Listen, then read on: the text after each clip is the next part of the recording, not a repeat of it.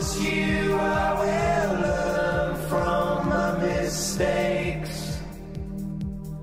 Tears stream down your face and I